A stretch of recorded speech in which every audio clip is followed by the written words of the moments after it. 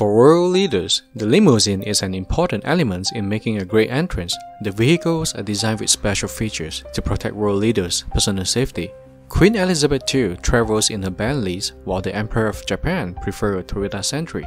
Chinese President Xi Jinping usually hits the parade road in a Hongqi L5. Russian President Vladimir Putin can often be seen climbing into an armored Aurus Senat limos. But there are few limousines more recognizable than that of the United States presidents, and it is known simply as the Beast. After the assassinations of the President Kennedy in 1963, the United States decided to renounce open-top presidential car and redesign a fully enclosed vehicle with reinforced armor. The Beast is equipped with advanced communications equipment, protective armor, and a series of special equipment. It operates off of the Secret Service classified motor pool, but a few specifications and secrets have leaked out over the years. This is what we think you should know about Cadillac One or the Beast. William McKinley was the first US president to ride in an automobile, but it was during Theodore Roosevelt's administrations that the first government-owned car, a white Stanley steamer, came into use. It was a steam engine-powered automobile in the late 1890s by brothers Francis and Freeland Stanley. Then Theodore Roosevelt succeeded McKinley as president, although Roosevelt allegedly preferred horses to automobiles. The steamer car was just a car without any customizations, so during his touring with this vehicle, he was accompanied by six agents.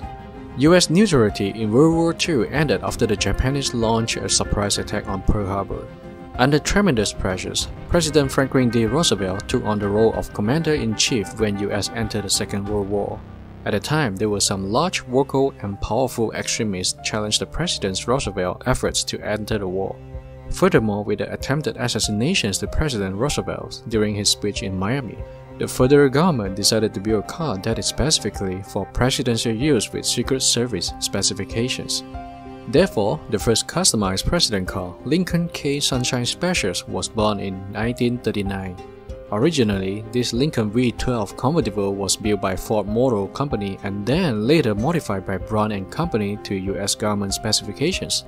The car's comfortable roof gave the busy presidents a chance to enjoy the sun and for touring purposes, hence the name Sunshine Special. The car equipped with a silent, running lights, and a two-way radios, as well as extra wide running boards and grab handles for Secret Service agents. Armor-plated doors were added to the car along with a bulletproof tire. If the occupants of the car needed to go on attack, storage compartments for submachine guns were added down the side of each door. The weight of the car increased to 4.2 tons after the modifications, known as the safest car in the world in 1942. During Ronald Reagan presidencies, due to the assassinations of President Kennedy in 1963, the convertible motor vehicle no longer in use, Hence, the first caddy in the presidential fleet came with the Fleetwood in 1983.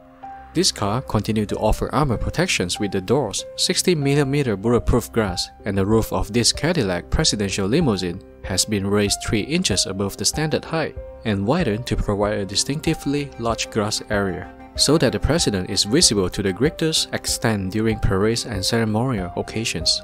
To deal with the added weight of the armor, the car had oversized wheels and tires, heavy-duty brakes, and an automatic leveling system.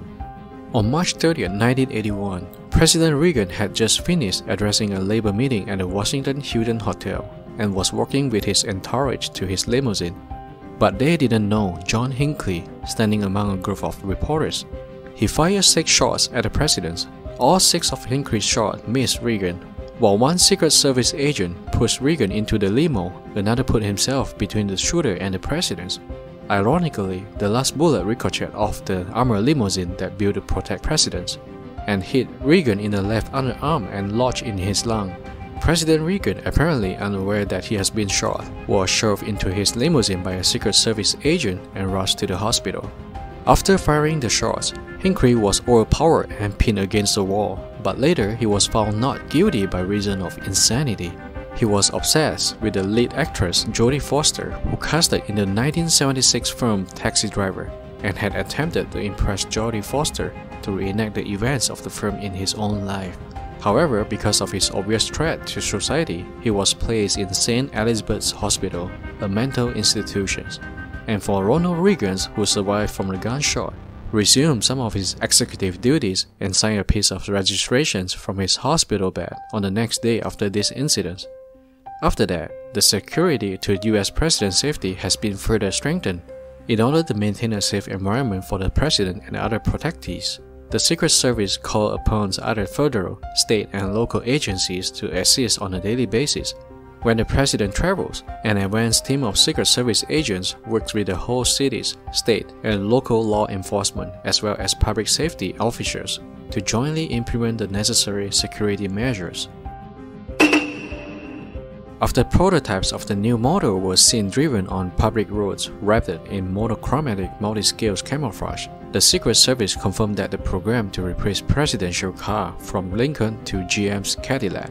The Beast, first used by President Barack Obama in 2009. Like Air Force One, the official presidential limousine is a sophisticated, whose sole purpose is to allow the president to be an effective executive while in motion from place to place.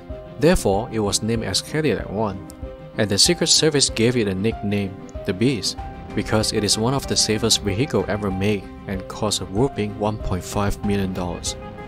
Although it is a Cadillac, while the headlights, taillights, and certain grille elements are identical to those used by stock Cadillac's vehicles, just about everything else is secret and custom built by GM. This car is 18 feet long and weighing 14,000 pounds, which is equals to the weight of four Toyota Camry sedan much of the weights come from the car's armor. The bodywork on the limo is said to be at least 5 inches thick armor. The armor is a combination of dual hardness steel, aluminum, titanium, and ceramics which helps it withstand some of the most lethal projectiles. The doors of the car have armor plating that is 8 inches thick and are the same weight as a Boeing 757 cabin door. Additionally, the fuel tank of the car is armor-plated and filled with a special foam which prevents it from exploding even if it takes a direct hit. The armor limousine has its own life support units, such as firefighting system, tear gas, and smoke screen dispensers, and equipped with two pints of blood in the president's burst type to tackle the worst eventually. These life support machines will keep president alive if he is critically injured. The interior of the limo is air sealed against chemical and biological attack. The armor limo also has a special automatic lock safety system that in case of emergencies, seals off the entire car. Along with a panic button installed for the president, and there's a satellite phone that connects him to the vice presidents and the Pentagon. It holds 7 passengers, at the very least, the Beast has three passengers aboard the driver, the President's lead Secret Service protective agents in the front passenger seat, and of course the President himself. However, four additional seats in the back are available. Three rearward facing spots on the bench and one spot next to the President for a guest.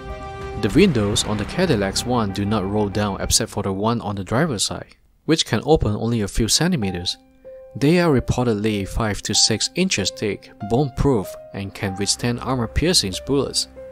The front windscreens can also take the brunt of armor-piercing bullets, or a .44 Magnum shot from close distance. The Cadillac one is literally loaded with defense accessories. The Armor Limo has night vision cameras installed in the front and back to help the driver drive it without its headlight on. The palm action shotguns and tear gas cannons are among some of those weapons speculated to be included. Tires are one of the weakest link of a car, and destroying them is the easiest and the quickest ways to immobilize the vehicle putting it under severe threat. The tires on Cadillac One are specially designed to withstand intense harm from the likes of bullets and spike strips and keep the limo moving. The Kevlar reinforced tires are shred and puncture resistant, but even if something managed to damage the tires, they are fitted on bespoke steel rims and have run-flat mechanism that will help drive at high speeds to escape dangers. The current model has a Duramax 6.6-liter V8 supercharged diesel engines. Due to the weight of the car, it could only reach out 60 miles per hour max, and the fuel consumption is insane, which is only 3 miles per gallon, while the average car gets around 25 miles per gallon. Furthermore, the Beast is not alone. Why there are two of them in the picture? Well, nowadays two identical vehicles with identical license plates and they are always operated at the same times to confuse any potential assailants.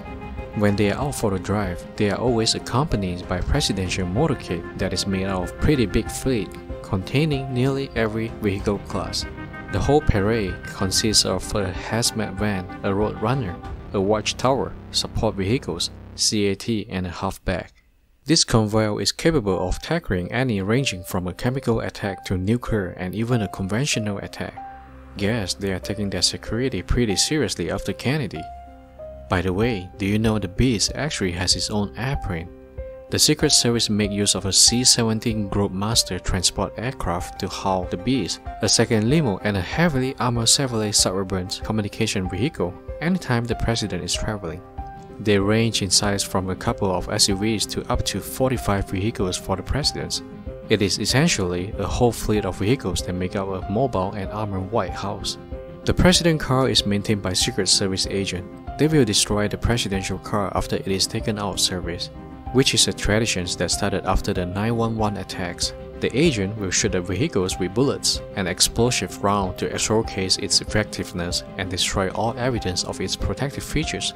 Then they will either bury the car or sink it into oceans.